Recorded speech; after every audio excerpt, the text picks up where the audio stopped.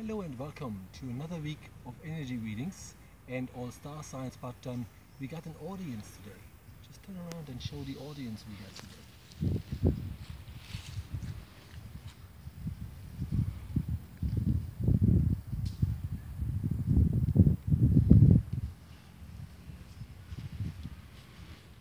Aren't they glorious? They are awesome. Let's look at the overall energy of the week starting on September the 4th, Monday. Let's look at the overall energy first.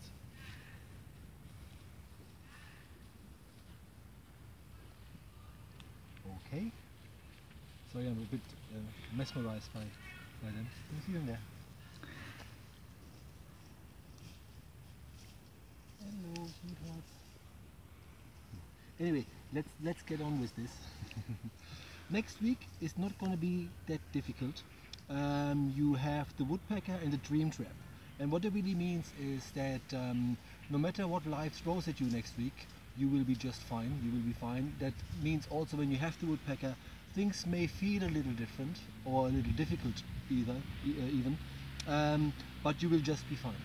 And you have the dream trap, which means um, you will probably this week, or we all this week, should pay attention to our dreams. And dreams have patterns. So if you see something that you remember from your dream, uh, make sure when you look at your dreams this week, whatever you remember, if you see a pattern, there's a message in there. Okie dokie. That's just the overall energy. So to um, recap, um, it's not going to be as difficult. You will be able to manage whatever life throws at you, but also pay attention to your dreams because there are messages in there. And now we're going into into Virgo, our first star sign for the week, and see what we got for the Virgo.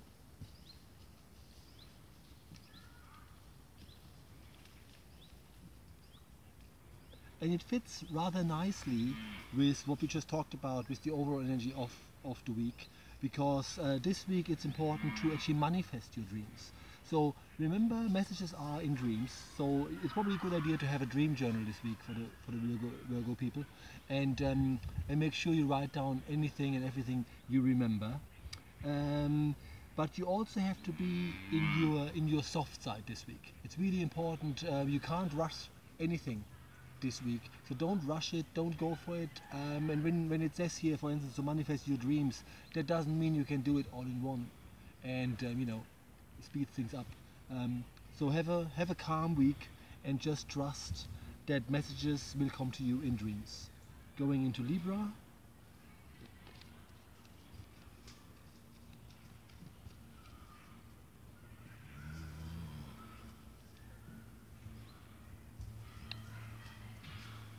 So for the Libra people, it's important this week to not hang on to old um, drama. Please, this week, let let go of let go of guilt, and um, and try to love unconditionally this week.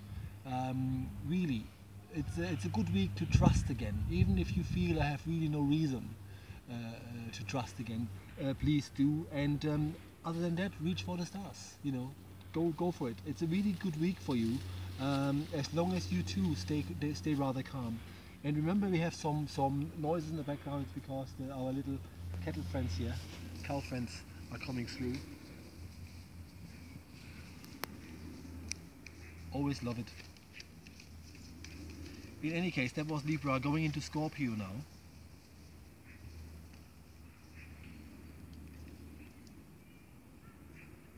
I can already see a little pattern emerging here because I set for the for the previous two star signs to um, be calm and now for Scorpio it's actually the same. It's really time to conserve your energy this week. Don't do anything strenuous. But also, um, this is a good week to remerge. So if you felt, you know, the last couple of weeks have been difficult, welcome to the club. Um, this week it gets it gets uh, sl slightly easier. If I'm not mistaken, uh, one of them planets goes out of retrograde uh, on on the on the fifth and um, that means things get get lighter. I, I don't know if it's Mercury or, or, yeah, no, it is Mercury. Goes into uh, goes out of retrograde, so so uh, energies get lighter, get easier. So remember this, um, Scorpio people, conserve your energy this week. Don't do anything too strenuous, but really emerge from from your cave, so to speak, and and um, take part in life again. It's really really important. Okie doke. Sagittarius, I'm drawn to the other deck.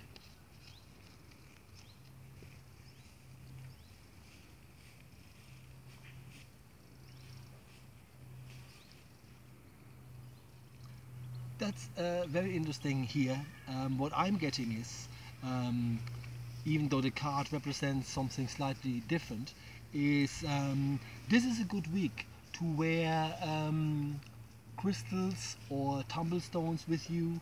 Um, if you are in possession of older jewelry that has probably been handed down uh, and that, that you that you got, you know, your grandmother's stuff, your mother's stuff, this kind of thing. It would be very good to wear it this week and, and, and connect it.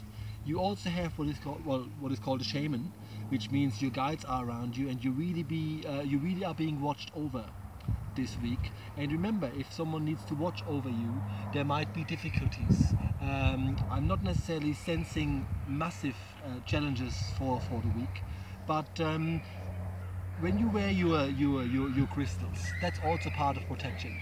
Right, so stay protected this week and, and, and above else, like in all the other star signs so far, be calm. Okie doke. Going into Capricorn.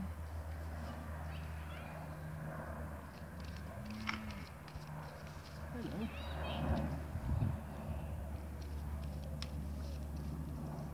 Going into Capricorn.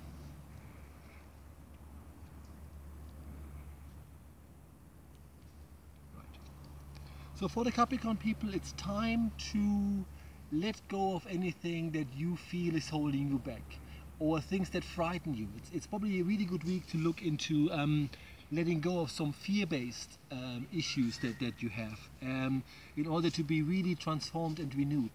It's, it's quite important. So this is a week where you probably, you know, if you feel like you're having a trauma somewhere, uh, find a therapist that helps you with that stuff. Um, or if there's anything that you, you need to overcome, look at it. Stay detached from it as best you can. Look at it, but uh, at least look at it again. That's quite that's quite important. So that was Capricorn, and now we're going into Aquarius.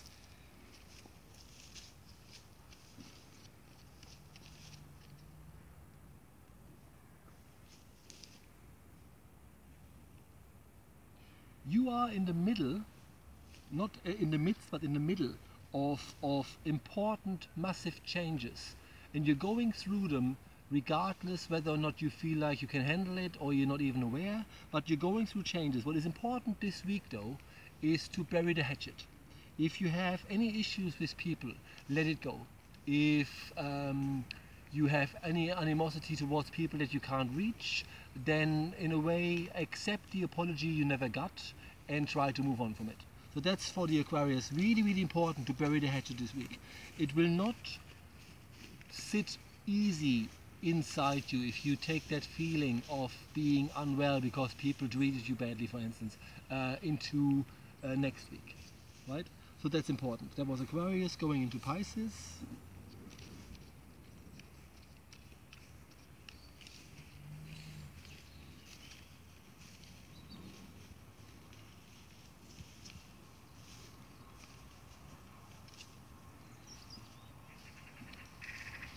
I'm a Pisces. I always say it every week because it's true. I'm a Pisces, and um, personally, not feeling so well this week.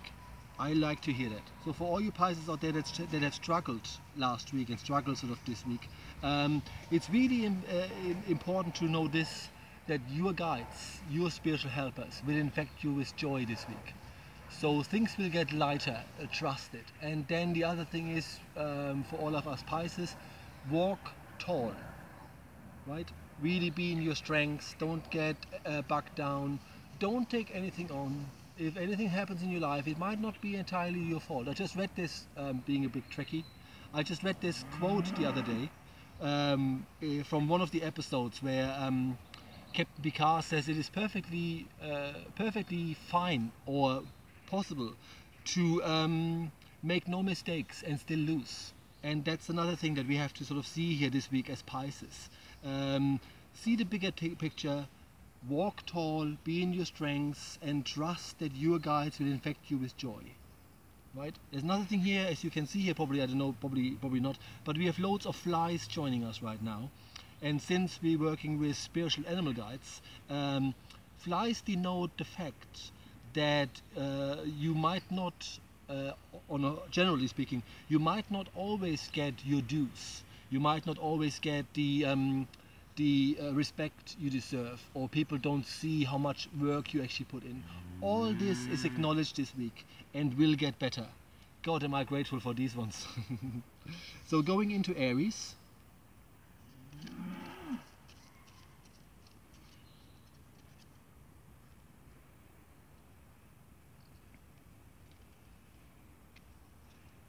Interesting because you have the mouse and the squirrel, um, not too dissimilar as as beings, as it were.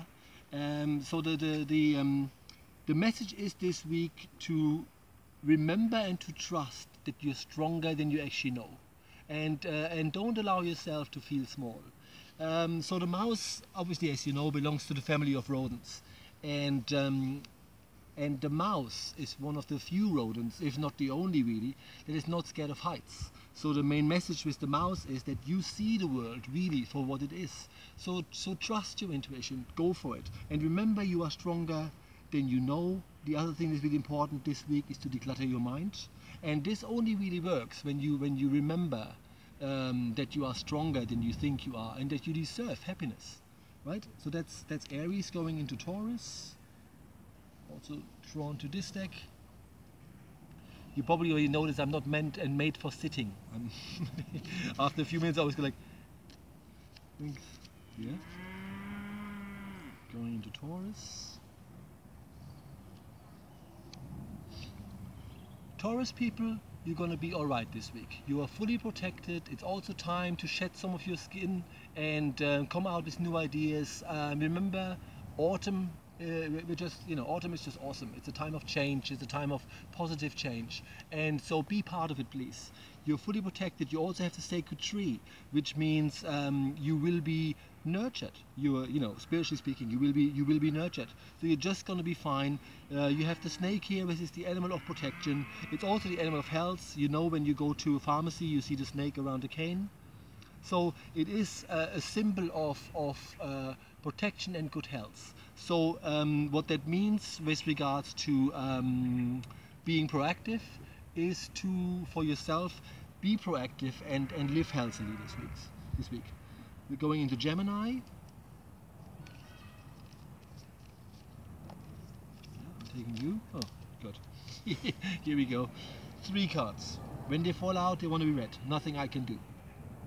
So for the um, for the Gemini, this week monitor your energy. Really, really important to, to figure out how, how am I feeling about these things? What does it does to me? Is my life stressful? Um, are there things that trigger stress for me? How am I feeling overall? That's really important. And um, it's important to also know that uh, this week, again, another of these weekly patterns that we have here, your week has to be as gentle as possible and there's a lot of um, strength in in in gentleness being being gentle. And other than that it's important this week to be light-hearted um, be silly you know play air guitar do do something that sort of lifts you up dance a little bit. I do this today brought my little you know old folk old old school my little mp3 and I go yeah go raving in the woods. It's perfect. You should do the same. Um, so that's for the Gemini uh, you should do the same. Monitor your energy and um, be gentle. Now we're going into Cancer. Cancerians.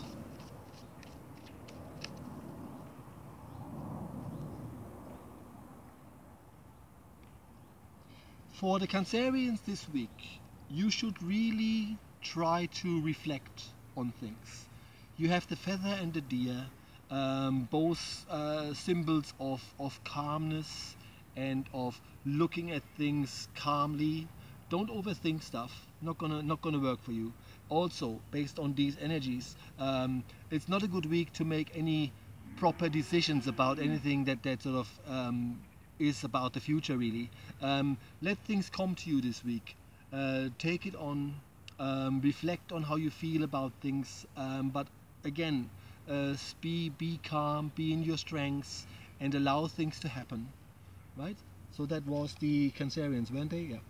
So going into into Leo. Still funny to end with Leo because for weeks we have started with Leo, but we're in the star sign of, of Virgo, so it is our last uh, star sign. And let's see what we got. Oh, isn't that funny? We got the cow. Just heard about a hundred of them here. I can still see one over there. Can you see it?